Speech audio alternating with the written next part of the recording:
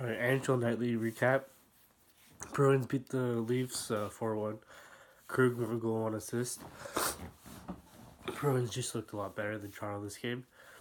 Ottawa beat Philly uh, in a shootout 4 3. They were up 3 1, so. Connecting three assists. Uh, Montreal beat Anaheim 5 2. Niemi 43 and 45 saves. It's a good game from him. Uh, New Jersey beat Pittsburgh 3 1. Zajac, two goals, one assist. The Jets beat the Avalanche uh, 3 0. Hellebuyck, 25 save shutout.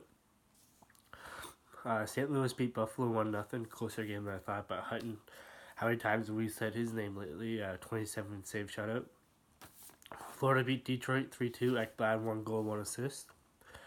The Islanders beat the Blue Jackets 4 3. Barzal uh, have an amazing rookie season, 2 assists. Nashville beat the Rangers 5 2. Uh, PK Subban opened the scoring.